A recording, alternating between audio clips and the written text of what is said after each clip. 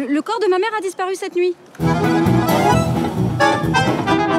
Et s'il s'agissait d'un nécrophile Ce genre de monstre existe bien. C'est quoi un nécro-truc des, des, des fous qui peuvent faire l'amour qu'à des mortes. Ça me rend malade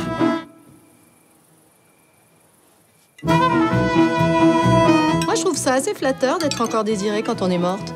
Nom de Dieu, je peux pas imaginer Allez, Jean, on va le trouver, ce monstre Il peut être un télo et très cochon, non? C'est un fait. Comment peut-on jouir de la vulnérabilité absolue d'une femme Ça me rend malade. Ne sois pas jaloux, Jean. Finalement, ces nécropathes sont des romantiques. Comme le prince charmant de la Belle au bois dormant. Bon, moi, c'est sûr qu'il faudrait plus qu'un simple baiser pour me réveiller. hein.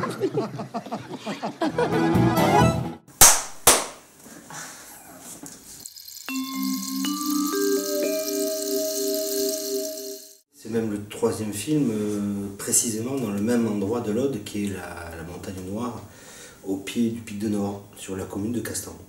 En réalité, c'est un village où on vient depuis qu'on est enfant, depuis qu'on a 5-6 ans, et je pense quasiment tous les étés.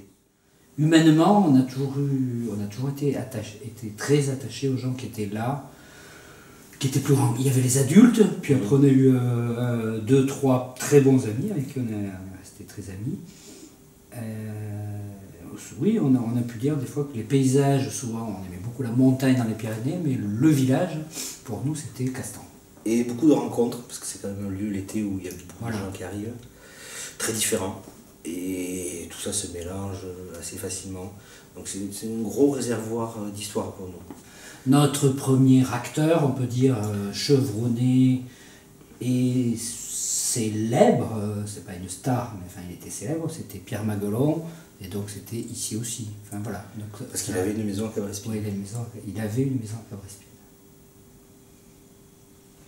Voilà, Mais on n'est jamais devenu chasseur, Non. ni pêcheur, un peu la pêche.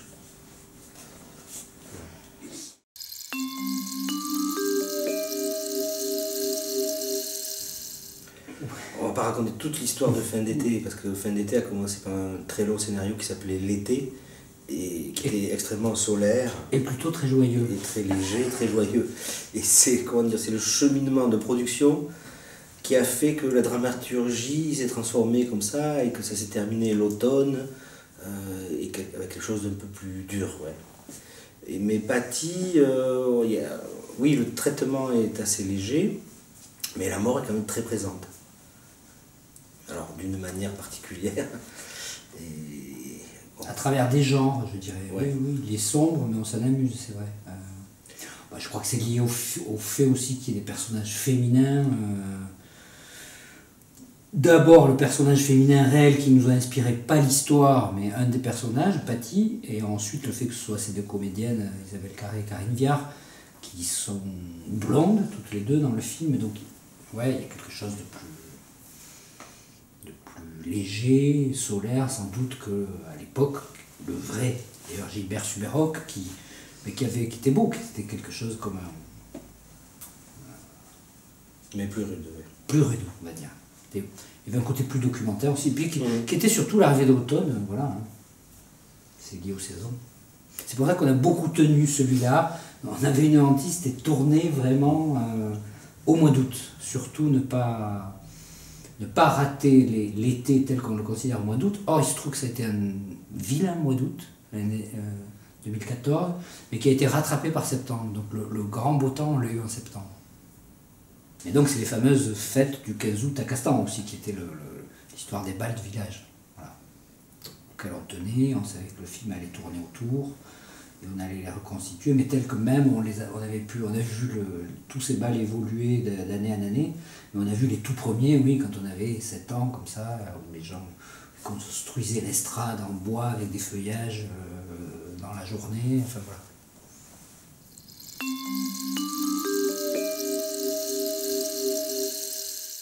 C'est vraiment partie des, des vrais récits, de la vraie Patty, qu'on a écouté une première fois un soir d'été à Castan, un soir du mois d'août à Castan la première fois. Ça, ça nous a raconté deux, trois histoires. Voilà, ça nous a inspiré. Ça nous a inspiré parce que ça, ça provoquait beaucoup d'images et elle, elle raconte vraiment dans ce style-là. Donc le, le- vraiment le premier travail d'écriture, c'est quasiment de la retranscription.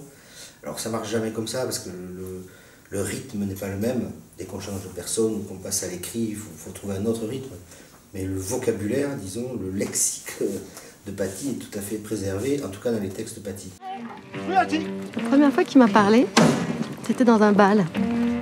Je l'ai entraîné à l'écart, dans une ruelle plus calme. Là, je comprenais un mot sur dix. Ça met un petit coup d'air à Bam bam C'est un chasseur. J'aime pas les chasseurs, mais putain, quel bon coup. Au départ, c'était presque un dispositif. On s'était dit, tiens, ça pourrait être la vraie Patty qui raconte ses histoires à une comédienne, enfin qui jouerait un rôle, et la comédienne essaierait de se projeter dans les récits de Patty, puisque Patty n'aurait pas pu jouer elle-même, euh, elle pouvait raconter, mais pas. Donc il y avait juste un dispositif qui n'était pas vraiment scénarisé. Et petit à petit, on s'est dit, non, on va scénariser, donc qui est la personne à qui elle raconte ses histoires? Euh, et pourquoi elle vient dans ce lieu. Et donc, c'est tel qu'on le voit dans le film, c'est quelqu'un qui vient enterrer sa mère qu'elle connaissait très peu. Et peu à peu, on s'est retrouvé embarqué dans cette histoire. Et après, il faut la traiter comme, euh, j'allais dire, comme une équation mathématique. Et donc, elle va être obligée de rester, cette fille, Caroline, parce que ça- alors, sa mère est morte, elle doit l'enterrer. Mais si le corps de la mère disparaît, elle doit rester là. Et voilà, on s'est mis à traiter comme ça le scénario. Ce qui nous a. en réalité, il y a presque deux périodes de six mois. C'est, très écrit, quoi. Il y a un an d'écriture. Parce qu'après, on s'est rendu compte euh, que ce qui nous plaisait, c'est que tout repose sur les récits. Donc même quand Jean arrive, le, personnage masculin, disons, est mystérieux, euh, lui-même arrive avec énormément de récits. Donc beaucoup d'ambiguïté. Voilà. Et le sujet s'est construit là. Vraiment, c'est, c'est Caroline perdue dans tous ces récits. Qu'est-ce qu'elle doit croire? Qu'est-ce qui vient d'elle? Qu'est-ce qu'elle fantasme elle-même dans les récits des autres? Voilà, le sujet est né vraiment là.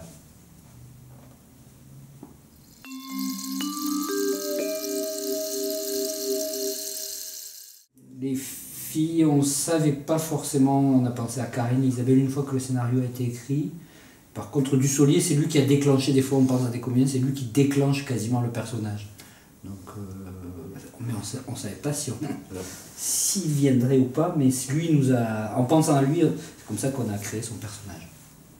Le pari du film, parce qu'au départ même, on aurait pu être plus réaliste et prendre quelqu'un, disons, de moins actrice que Karine et qui aurait fait Patty, parce que Patty c'était le réel, et, et, et Karine dans sa réalité de parisienne actrice, elle aurait pu faire euh, Caroline. Ça a été envisagé. Puis après, euh, assez rapidement, quand on a vu l'ampleur des textes de Patty, il fallait quelqu'un qui, d'une part, évidemment, pouvait les dire, les jouer, mais avec une énergie, ça pouvait être aussi un peu euh, trash, enfin lourd. euh. Et donc on s'est dit, si Karine arrive à faire ça, c'est aussi très beau, parce qu'elle a une énergie comme ça très, bah, disons plutôt solaire, ou même si elle pourrait jouer des rôles très dramatiques et très noirs. hein, mais... Et Isabelle Carré, euh, c'est vraiment, on, on- on ce qu'elle donne, hein, une sorte d'innocence, de femme-enfant, mais quand même là, elle devient un peu mature. So- son innocence, ça ne va pas durer très longtemps encore. enfin, Quelqu'un sur le film, c'est ça qui était beau. Voilà. euh, entre Elle a encore cette image-là, mais. ouais. femme mûre et femme enfant, et elle est sur le fil, je trouve qu'elle porte ça, Isabelle. Et...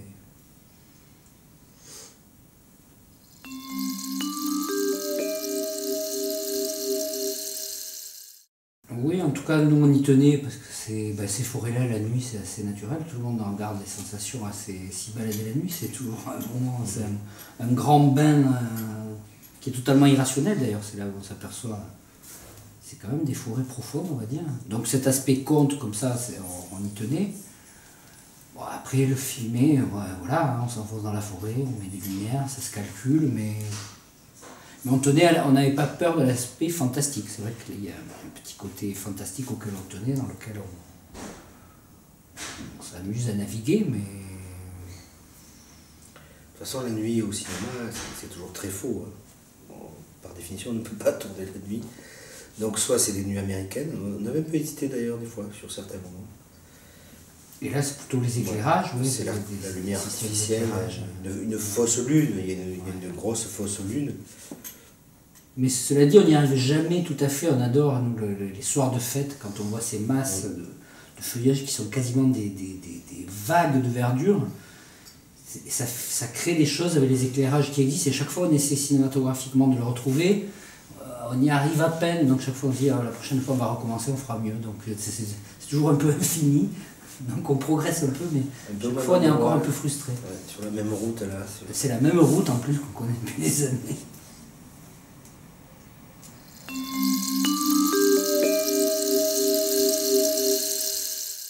C'est un groupe euh, qui sont plutôt alors partie Midi-Pyrénées ou par ici. C'est des musiciens qui tournent dans tout le, un peu le sud-ouest. Eux, ils ont fait les balles en direct. Et ils s'appellent Improbal et eux, ils travaillent sur ça, sur euh, tous les genres de musique, mais pour que ce soit dansant. Voilà.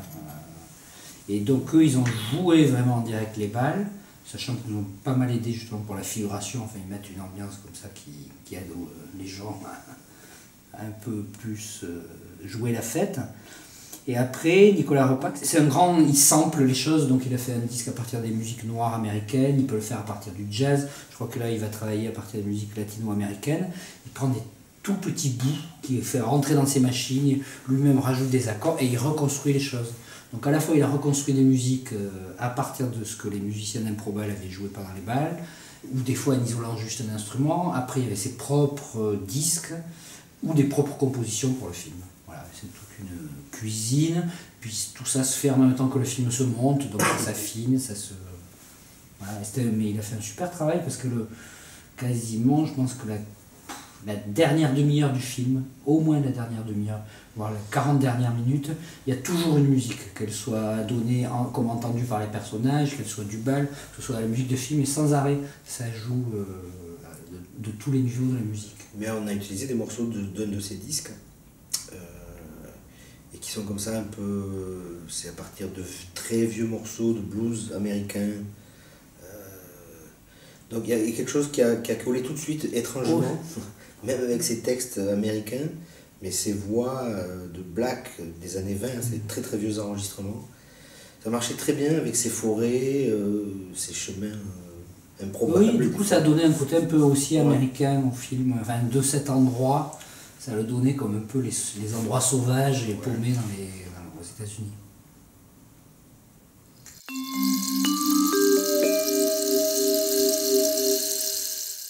Sur le plateau, euh, moi je suis la caméra et Jean-Marie Plus avec les comédiens. Dans le premier dialogue, bon, ce qu'on fait de plus en plus, c'est qu'on fait jouer les comédiens avant de se demander où on va mettre la caméra.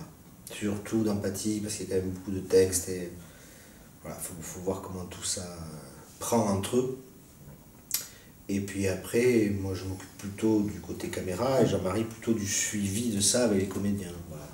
On détermine un peu déjà ce qu'on va faire à la caméra et après, euh, après voilà, Arnaud. Et au moment de la prise, Arnaud, c'est lui qui cadre, il fait pas la lumière, il cadre. Et donc moi je regarde plutôt les comédiens, soit sur un écran, soit directement, puisque je sais que c'est Arnaud qui cadre. Donc on va chacun avoir une parole, mais moi j'ai la première parole, et Arnaud intervient plus sur le cadre. Mais enfin, quand on a passé déjà un an à écrire tous les dialogues, à avoir fait Oui, oui. ensemble les costumes, Par exemple, les- les- tous les longs récits, il y en a trois essentiellement de Paty. On savait euh, que le premier, on avait envie que le premier soit vraiment les deux filles dans le même plan en marchant. Voilà, et c'est ça qui donne le plan. Après, c'est faut trouver la bonne distance. Le deuxième, on savait que c'était un apéritif, donc ce serait un peu un face-à-face euh, avec Caroline qui arrive dans un endroit qu'elle connaît pas, euh, il- le chevreuil, etc., etc. Donc c'est juste deux valeurs de plan, une sur Caroline, une sur Patty, et c'est un chant contre chant, tout bête, euh, sans amorce par contre, mais on ne voulait pas mettre des amorces de l'une dans le plan de l'autre.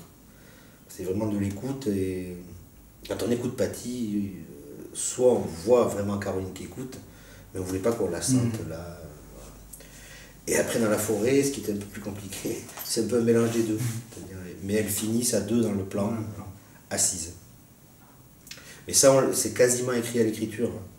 Surtout quand on connaît les endroits. Euh, L'endroit dans la rivière, on savait qu'il y avait la murette et qu'elle Oui, oui. qu'elle allait se baigner. Et c'est écrit, je pense, c'est écrit. tous les baigner, endroits, on savait quasiment où est-ce que. Là, pour le coup, les repérages, on allait vérifier Ouais. l'état des lieux, euh, mais on remettait un peu en état un ou, euh, mais c'était écrit, on savait quasiment où prenait. où auraient lieu les scènes.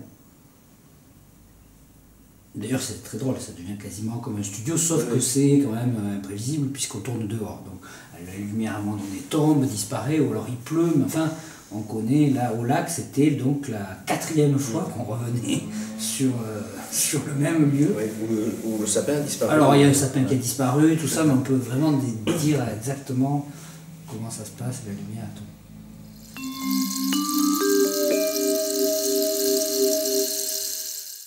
La maison, euh, en fait, parce qu'il y avait des. ben, la maison, elle est habitée, et la propriétaire était là pendant les dates de tournage, et bon, il y a eu des malentendus, etc. Bon, bref, à un moment donné, on a pensé qu'on n'aurait pas la maison. Et ça a duré très longtemps. Ça a duré jusque trois semaines avant le tournage. Donc pendant tout le printemps, on a cherché une autre maison. Et chaque fois on disait non, il n'y en a qu'une, c'est celle euh, pour laquelle on a écrit. Et donc on a- on l'a finalement obtenue. Parce qu'aussi la propriétaire est vraiment venue, qu'elle a rencontré vraiment le producteur par courrier, tout ça, ça ne le faisait pas. Mais... On en a vu énormément. Et mais donc on en a vu énormément, ce qui nous a conforté dans notre choix initial. Il n'y a qu'une maison comme ça, c'est celle dans laquelle C'est celle-là. Et en plus qu'on avait connu en France. Oui, Ça aide parce que ça- je sais pas pourquoi, mais c'est c'est très amusant de, connaître- de tourner dans un endroit qu'on connaît très très bien. Parce que déjà on y avait tous ces acteurs, donc c'est très bizarre. On est assis là, puis tiens, on a du Solier, alors que c'est un endroit où, on jouait enfin. C'est très étrange. Et les acteurs le sentent, ça, ils aiment bien, ça les amuse. Il faut savoir que les intérieurs sont tournés ailleurs. oui, tout à fait. Oui, quand on dit ça, cette maison n'existe absolument pas, puisque ils sont, les intérieurs sont tournés au château de Polignan.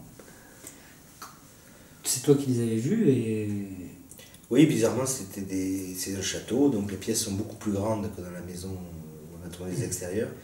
Mais, mais c'est les seuls intérieurs aussi où on a vu où il y avait quelque chose, une ambiance. L'espace ne correspond pas, si, si on regarde de près, c'est c'est pas possible. Il y a des plafonds de 4 mètres, il y a des... c'est pas possible.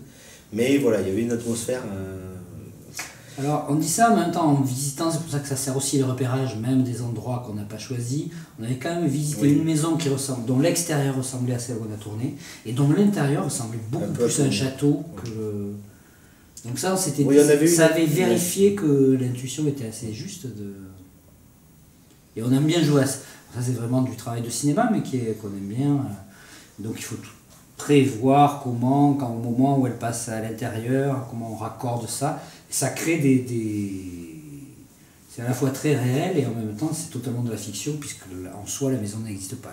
L'intérieur n'est pas le vrai extérieur. Mais l'idée du château, de l'imaginaire, enfin, ça marchait bien aussi avec le film. Avec Caroline, le personnage. Oui, et la maison de la mer, encore un peu en Ouais. chantier, pas, pas tout à fait aménagé, pas... il, y a, il y a beaucoup de- d'endroits un peu vides dans cette maison, qui est l'état dans lequel la mère l'a laissée quand elle meurt.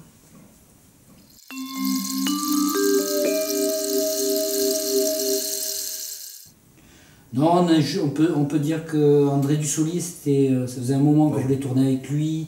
Ça avait failli se faire sur le voyage aux Pyrénées. Là, il arrive enfin. et il se trouve que le plan de travail était quand même. euh, était- des fois, il est malheureux. Enfin, on se débrouille toujours pour, pour que justement, quand les premiers plans avec un acteur, il y a une sorte de dramaturgie des plans de travail. Bon. Mais là, il était délicat, c'est qu'il devait aller jouer allongé sur, euh, au cimetière, là, le, le plan où il est. C'était humide, En pente. en pente, et derrière il y avait une sorte de grue qui faisait partie du décor et qui. Et qui au fur et à mesure. Une petite pel- pelleteuse qu'on Voilà. avait mis nous pour signifier que le trou venait d'être creusé. Le trou de la mère d'Isabelle. Mm. Et, mais tout ce, ce- ce cimetière est très en pente. Donc, la machine elle-même était en pente et le bras ne tenait pas. Et il y a de très longs plans séquences sur tout le texte en plan séquence. Et, le- et au cours du plan, le bras. Le bras peu, peu à peu, alors non seulement ça fait du bruit, mais le bras tombe peu à peu. Et donc on a fait cette première prise où en plus le chef opérateur n'avait pas très bien réglé la lumière parce qu'en général. Et donc il a dû changer toute la lumière et donc il y a eu un vrai moment parce que et du Soulier était à 200% déjà dans la répétition. Et donc le tournage démarrait euh, tard, on avait tourné, c'était de nuit, il faisait froid, c'était en pente, il y avait la grue, les lumières marchaient. On s'est dit waouh, des fois c'est dur le cinéma. Et puis c'est passé. On a eu les prises, il n'y a pas eu de, de de colère, rien à exposer.